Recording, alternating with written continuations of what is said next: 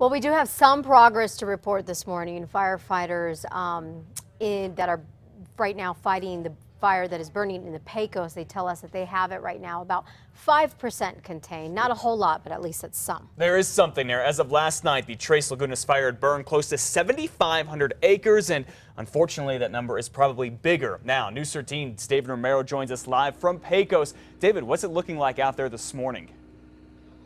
Well, Matt, it is pretty cold up here where we are at. We are at the Pecos Ranger Station. Uh, we're a good number of miles from the fire line itself. Now, you can tell by anything around me that the wind is calm. It's almost not even present at this point. And as I mentioned, it is pretty cold where we are at, and you can still smell some of the smoke in the air, but it's not too heavy. Now, some of that latest information that we got from fire officials is that the fire is about 5% contained, and it was within 7,500 acres as of 10 o'clock last night. But, of course, that was expected to have grown grown. Now, crew said they were making good progress, but the focus is primarily on the changing weather. With lower temperatures, higher humidity, and almost no wind on Sunday, they made their most progress yet.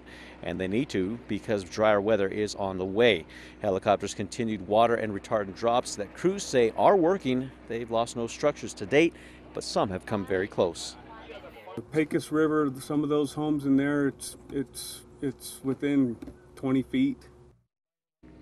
And fire lines are now going around those properties. The plan is to complete them by the end of their shift today, which could allow people back in some of those homes. Now, crews say the fire was near 24 summer homes in Holy Ghost Canyon, but that was slowing down as of Sunday night. And again, residents have been donating a lot of uh, supplies to the fire crews here. Those include uh, water and drinks and, and, and other food.